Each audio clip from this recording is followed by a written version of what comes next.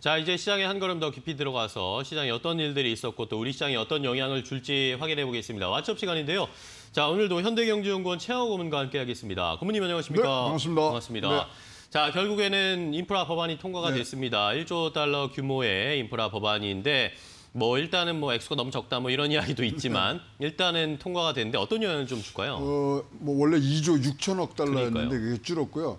사실 이게 어, 뭐 정치적인 그런 어, 의미가 사실은 더 큽니다. 아, 뭐. 액수는 얼마 안 되고요. 신규 지출도 5,500억밖에 안 돼요. 어, 근데 어, 뭐 국내에는 잘 안 알려졌습니다만은 이 트럼프 대- 전 대통령이 네네. 방해 공작을 굉장히 심하게 한 게 이겁니다. 아, 그런가요? 예.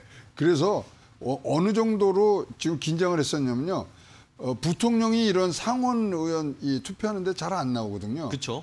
카멜라 해리스도 이번에 투표를 했습니다. 아, 예. 그래서 지금 뭐 어, 표단속을 했군요. 예, 공화당에 열, 19명의 에, 이탈표가 있, 에, 뭐 있지만 어, 그, 그 정도로 굉장히 신경을 정치적으로는 신경을 쓴 부분들이고요. 오. 어떻게 지금 뭐 어, 평가를 하냐면 주요 경제 공약 실천의 첫 단추를 깼다. 음. 어, 그래서 어, 정치적 모멘텀이 이제 완전히 백악관으로 넘어왔다. 어. 어, 그러한 어, 부분들이 지금 가장 큰 의미가 있고요.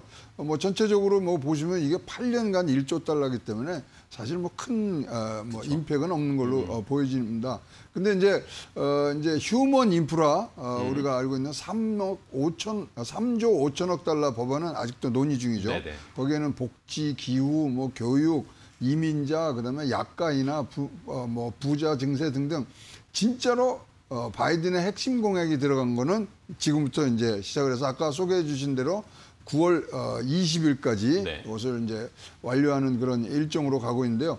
그래서 이제 8월 9일부터 원래 휴가입니다. 네네. 근데 어, 9월 15일까지 어, 초안을 내라 이러고 휴가들을 지금 간 상황인데 어, 이, 이 정도면은 이 정도 지금 투입이 되면은 어떻게 평가가 되겠냐면 1930년대 뉴딜, 네. 그다음에 1960년대 Great Society 이후에 최대의 인프라 교체라고 지금 어, 보여집니다. 따라서 어, 이, 어, 이 부분은 굉장히 이제 큰 영향들을 부- 어, 이제 갖고 갈 건데 뭐 그렇다 보니까 이제 국가 부채 올라가는 게 눈에 뻔히 보이고요. 네. 그다음에 세금 부담 가중되고 지금 가장 우리가 아, 논의의 어, 중점이 되고 있는 인플레이션에 아, 심각한 영향을 주고 있다는 게 공화당의 지금 포지션입니다. 그래서 이거는 굉장히 지금 아마 아, 심, 심각하게 한번 어, 붙을 것 같습니다. 아, 근데 이제 아, 월스트리트 저널 같은 데서는 이번 인프라 법안은 네. 올해는 0.2%, 내년엔 0.3%의 GDP 성장에 에, 기여도가 있을 뿐이지 크게 오. 뭐 이것은 뭐 직접적인 효과는 미비할 것이다. 아, 지금 5년에서 10년 동안 걸쳐서 지금 이거 어, 지출이 되거든요. 그러게요. 어, 그, 그러나 장기적으로는 어, 경제의 생산성과 효율성 증가에 있어서 어, 월 60만 개 이상의 일자리 창출하는데 분명히 큰 어, 효과를 갈 것이다. 음. 네네. 이렇게 지금 어, 전망들을 하고 있습니다. 네. 자, 이렇게 일단은 이어 어, 인프라 법안이 통과가 됐습니다. 뭐 2차 추가적인 인프라 법안을 민주당에서는 계속 좀 추진하려고 노력을 하고 있는데 자, 일단은 오늘 시장에서는 뭐 미국 시장에서 뭐 철강 관련 주라든지 아니면 뭐 캐터필러 같은 그렇죠. 산업 섹터의 종목들이 좀 올라갔는데 우리 시장에도 오늘 좀 반응이 있을까요? 어, 이거는 뭐 그 세계의 이런 뭐 인프라 시장은요 굉장히 공급망이 지금 뭐 꽉 글로벌 공급망이 돼 있기 때문에 어, 자연스럽게 우리나라에도 굉장히 좋은 부분들로 올 거고요 철강이라든가 뭐 아까 원자재들 어, 부분들이 굉장히 많은 영향을 오늘은 받지 않겠느냐 어, 보여집니다. 어, 그러나 이제 이것이 이제 진행되면서 좀 한 발 앞선 투자자들은 걱정하시는 게 환율이죠. 네. 그럼 뭐 달러 강세로 갈 거냐 약세로 갈 거냐 좀 우리가 지금 며칠 새에 지금 워낙 강세예요.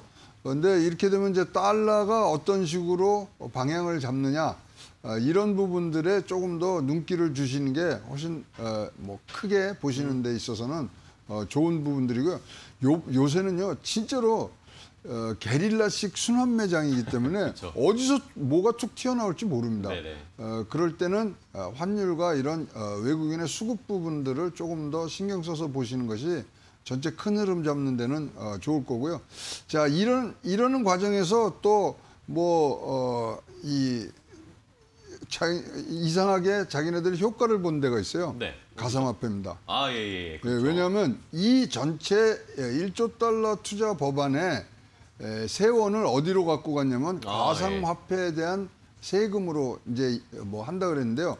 아 그럼 우리는 또 일견 생각하기에 어 이거 뭐 가상화폐 이거 다 규제하려 그러는가? 안 좋은 거 아닌가 라는 생각을 아닙니다. 그렇죠. 가상화폐, 암호화폐를 제도권으로 들어올리는 모습으로 음. 이것을 해석을 했기 때문에 에, 지금 어, 가상화폐도 조금 어, 좋아졌고요. 어, 지금 이제 요번, 요번 거에 투자 제한은 어, 가상화폐에 대한 세금 플러스 어, 코로나 지원금 회수금이 있습니다. 네네. 그것을 바탕으로 해서 하기 때문에 뭐또 다른 어, 뭐 국채를 발행하거나 이런 어, 영향들은 없을 것으로 보여집니다. 네. 자, 인프라 법안 투자 인프라 법안과 관련해서 일단은 어, 첫 번째 법안이 통과가 되면서 시장에 우리 시장에도 뭐 관련된 종목들이 좀 영향을 줄 수는 있지만 큰 영향보다는 어쨌든 이 환율을 좀 체크를 해봐야 되겠고 암호화폐 쪽에서도 이 약간 변동성이 나올 수 있다라는 그런 의견 체크를 해봤습니다.